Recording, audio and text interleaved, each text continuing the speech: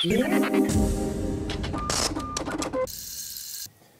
una de las circunstancias que últimamente nos ha venido pasando es que los abogados, que son como la conciencia jurídica de lo que nosotros hacemos, cuando estamos elaborando planes de ordenamiento, nos ponen una serie de frenos frente a lo que es el alcance de un trabajo en lo urbano, que generalmente es el contexto municipal.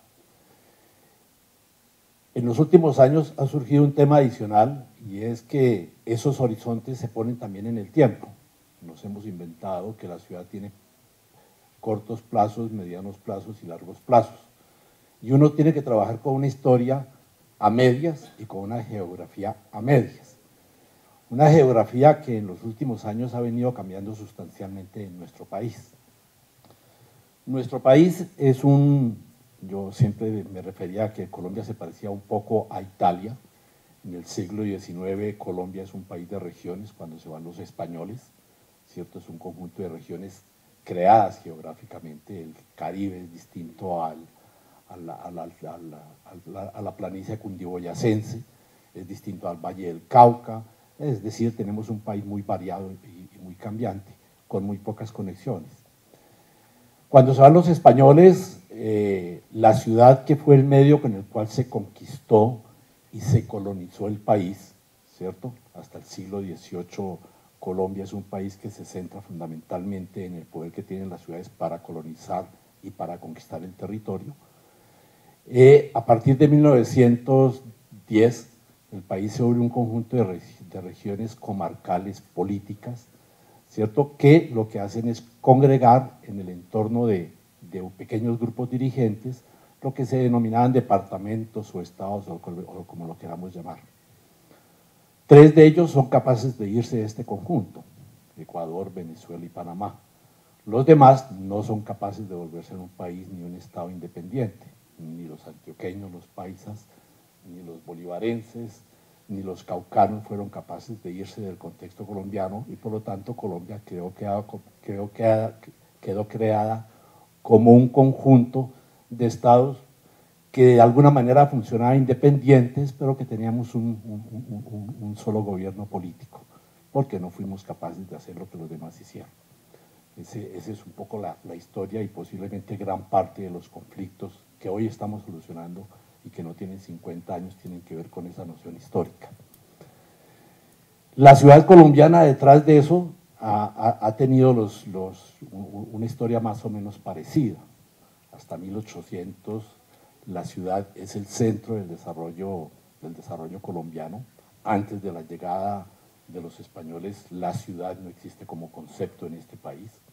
En el continente existe en México, en el Perú, algo en Guatemala, pero no existe como concepto. Con los españoles aparece como concepto y como base fundamental de la administración, del gobierno y del poder.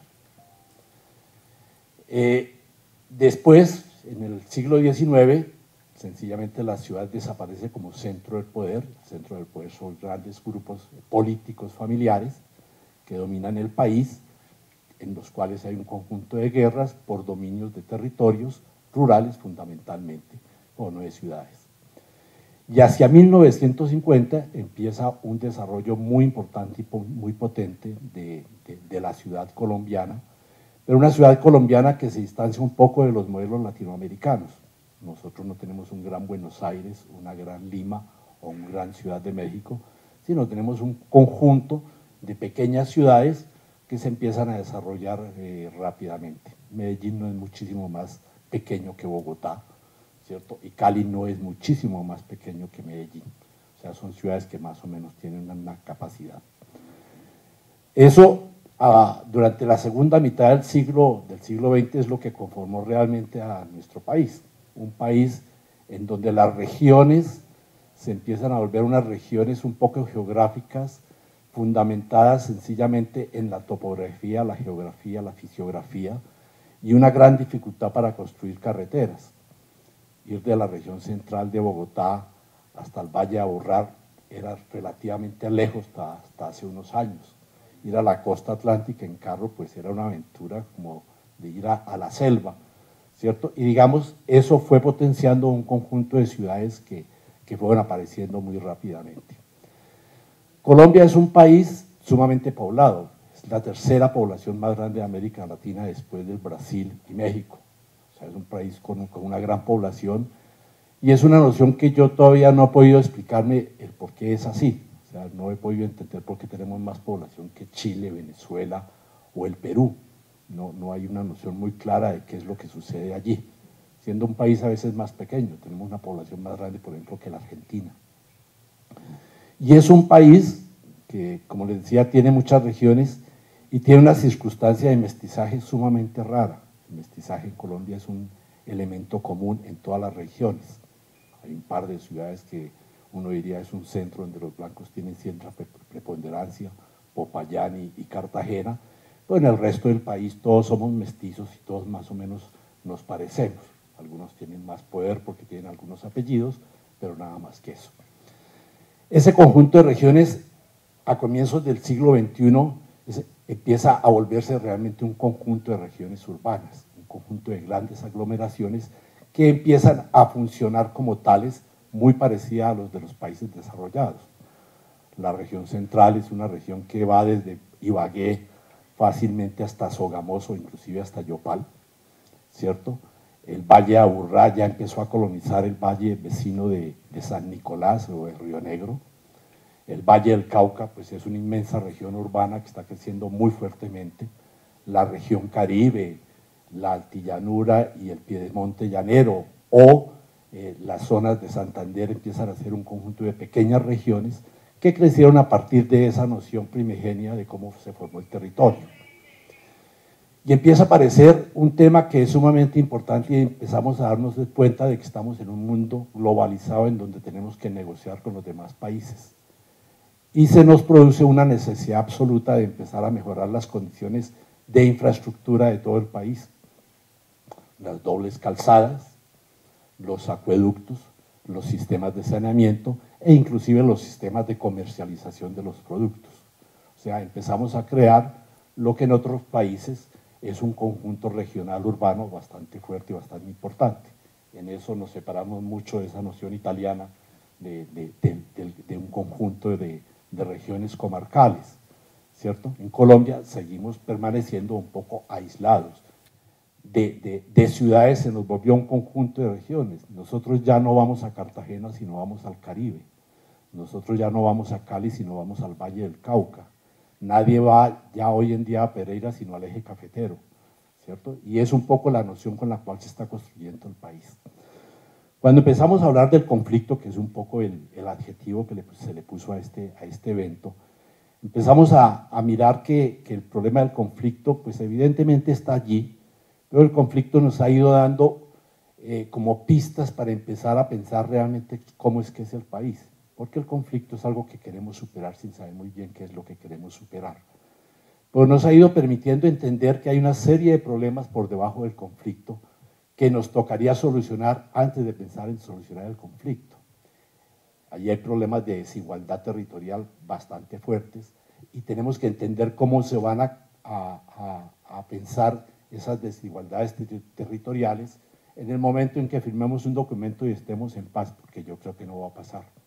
¿cierto? El conflicto, como decían esta mañana, va a seguir existiendo y hay que empezar a pensar qué es el problema del conflicto. Un poco desde el punto de vista práctico, un poco por mi profesión, creo que hay que empezar a separar los distintos problemas que se debaten sobre este territorio colombiano de regiones. Y hay una serie de problemas que uno empieza a ver que si los separa y los piensa juiciosamente puede empezar a entender qué es lo que está pasando y cuál va a ser el, espacio en el cual se va a solucionar el conflicto. Los he separado en lo tradicional, los problemas de orden nacional, los problemas de orden regional y los problemas de orden urbano, es lo que tocaría. Cuando uno mira los problemas de orden nacional, estas grandes regiones y la construcción de las infraestructuras que las, que las unen a estas grandes regiones, nos empieza a dar un territorio sumamente desequilibrado que yo creo que va a profundizar las diferencias fundamentales entre lo que es el país urbano y el país rural. Y es evidente que gran parte de las regiones rurales van a quedar mucho más aisladas que lo que antes las teníamos.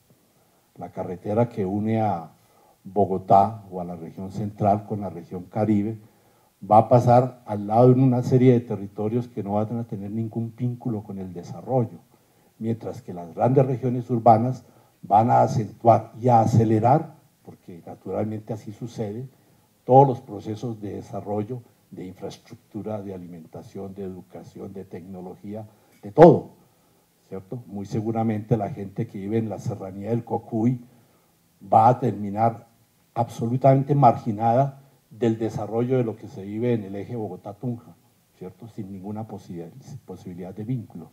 Y no es que toque solucionarlo, yo creo que lo que toque es entenderlo para ver qué es lo que tenemos que hacer al respecto. Muchas de las zonas en la cordillera occidental, la que queda contra el Pacífico para los extranjeros, eh, van a quedar por fuera de esas posibilidades de desarrollo. Si ustedes recuerdan el mapa que esta mañana presentaba el profesor Zambrano, recordarán dónde están las concentraciones urbanas más importantes.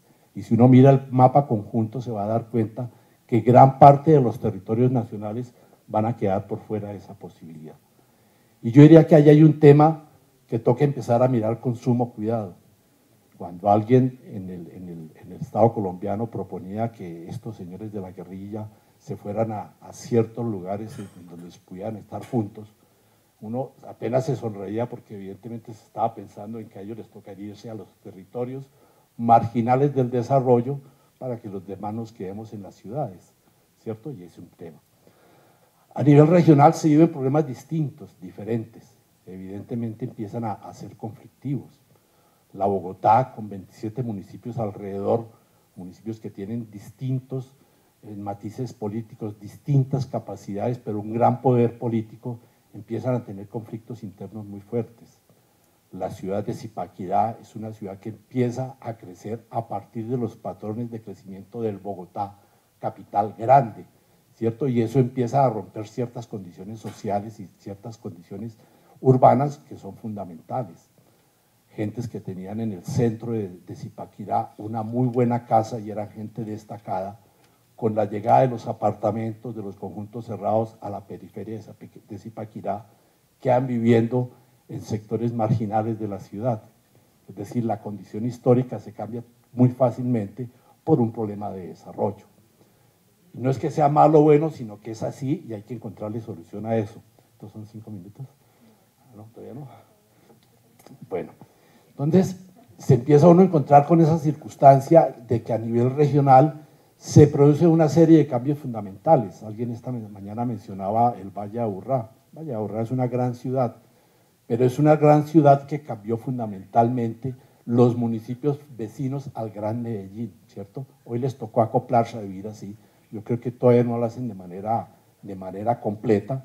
Hay gente en el sur de, del Valle de Aburrá que sigue teniendo ciertas tradiciones eh, municipales eh, de toda la vida, ¿cierto? distintas a las que se tienen en Medellín. Allá se han producido problemas demasiado graves. Los ricos decidieron irse del Valle de Aburrá, ya no viven en el Valle de Aburrá, sino viven en el Valle de San Nicolás o de Río Negro al lado del aeropuerto. ¿cierto? Y es un problema social sumamente delicado porque la ciudad empieza a quedar sin una condición social que es fundamental. Los grupos sociales en todas las ciudades del mundo desde el neolítico siempre existieron y no son un problema son un problema cuando no los entendemos, ¿cierto? Y hay que empezar a entender eso. A nivel regional se empiezan a ver otro tipo de problemas. El problema de, de la capacidad política de gobierno. ¿Qué es lo que gobierna Bello o qué es lo que gobierna Suacha en el contexto de Medellín o de Bogotá? El alcalde de Funza en el contexto de Bogotá es tan poderoso como el alcalde de Bogotá y es capaz de enfrentarse por el desarrollo. Por lo tanto, desde el punto de vista administrativo empiezan a haber una serie de problemas serios de cómo se maneja un territorio, cómo se manejan las políticas económicas o sociales, ¿cierto? Gran parte de los municipios inclusive empiezan a tener una presencia del capital global, del capital internacional, que condiciona el desarrollo de sus, propios municipios, inclusive por fuera de las condiciones del gobierno nacional. Es decir, el capital internacional entra a los territorios municipales a veces con una gran capacidad e independencia que supera las posibilidades del presidente de la República sobre esos mismos territorios municipales, donde el alcalde es el dueño del, paseo. Eso es lo que está pasando a nivel regional. Y no se diga de las tipologías, hay un problema sumamente serio. Este problema de las regiones urbanas conlleva la presencia de unas nuevas formas de ocupación, los arquitectos las llamamos tipologías, ¿cierto? Que empiezan a, romper y a, desarrollar el territorio de manera diferente. La dispersión, la ciudad difusa, la ciudad suburbana empieza a aparecer con una fuerza impresionante, con unas tipologías con las que antes no contábamos. ¿sí? Eh, eh, la, vía que conduce de Bogotá hasta Zipaquirá está salpicada de un conjunto inmenso de, ocupaciones dispersas que tienen que ser vistas en forma distinta, ¿cierto? gran parte de los habitantes empiezan a preferir ese tipo de viviendas al tipo de viviendas tradicionales, densas, que se producen en una ciudad como Bogotá. En el Valle Aburrá, que es el ejemplo que, he propuesto paralelo, empieza a suceder eso en una pendiente que supera casi los mil metros de, diferencia entre San Nicolás y, y el Valle de Aburrá, casi mil metros. Y las tipologías empiezan a presentar en una topografía que todos ustedes conocen, inclinada, muy inclinada, que dificulta todas las relaciones sociales, donde el problema de seguridad, que tanto se ha mencionado aquí, donde los problemas de convivencia empiezan a desaparecer, a desaparecer sencillamente porque la gente se esconde dentro de territorios que naturalmente se producen. No es que nadie lo quiera hacer, es que naturalmente se va produciendo y se va sucediendo eso. Y a nivel urbano, pues evidentemente los problemas son sumamente serios. Comparar a, a con Bogotá, a Bojacá con Facatativá, es sumamente difícil. Pero es el nivel comparativo que se está presentando en este momento porque vivimos en el mismo territorio. Tomamos las mismas flotas para ir al trabajo, inclusive hoy vamos a las mismas zonas de trabajo, ¿cierto? Pero vivimos en territorios sustancialmente distintos. Hace un año a Paul Bromberg yo le preguntaba, un habitante de Chía, ¿a cuál alcalde califica? ¿Al de Chía, que es donde duerme? ¿Al de Bogotá, que es donde trabaja? ¿O al de Cota, que es donde estudian sus hijos? Y empiezan a presentarse este tipo de contradicciones. Yo diría que el problema no es que se presenten, así es, y creo que eso es bueno para el país. Lo que pasa es que hay que empezar a estudiarlos juiciosamente para atenderlos en forma, en forma conveniente. A nadie se le puede ocurrir que la ciudad sea mala y que la evolución de la ciudad en un espacio distinto propio del siglo XXI sea mala. Es buena, evidentemente. Todo lo que la humanidad va haciendo en torno a la ciudad es bueno, ¿cierto? Pero debemos entenderlo para poder solucionar los problemas. El ordenamiento y la planificación, en mi sentir, no dice cómo deben ser las sociedades. El ordenamiento y la planificación lo que hace es construir correctamente las infraestructuras para lo que las ciudades, para, para las sociedades que ellas mismas se autoconstruyen. No hay ningún urbanista que diga cómo puede vivir otra persona. Un urbanista lo que hace es poner correctamente las calles para que esas personas vivan tal como escogieron el modelo de vivir. Muchas gracias.